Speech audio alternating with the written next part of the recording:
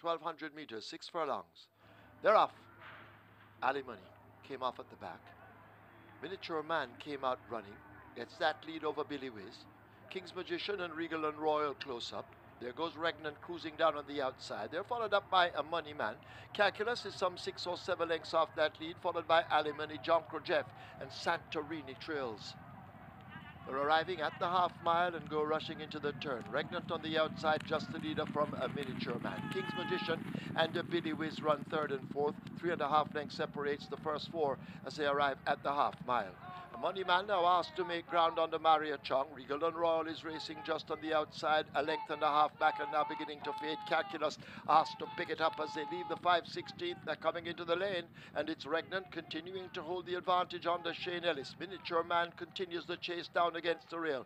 Moneyman is in between horses and Billy Whiz in the orange silks out wide, but Regnant under the left-hand stick maintains the advantage on the run to the furlong pole. Here comes Calculus down against the rail. Billy Whiz out wide and widest of of all Alimony, but it's Regnant by two lengths. Here now, beginning to close on the outside, is Calculus bursting through. It's Regnant and Calculus. Calculus just gets him. Regnant is second. Billy Whiz, Regal and Royal have gone by together, then Alimony.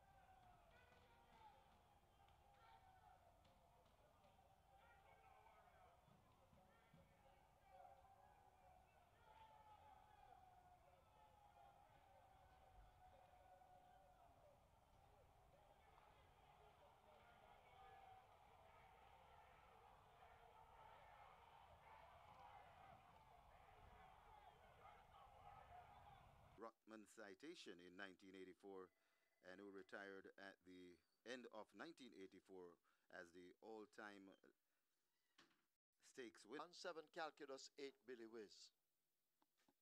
Calculus the winner, 121 to win, 54 to place. A second 10, Regnant, 72.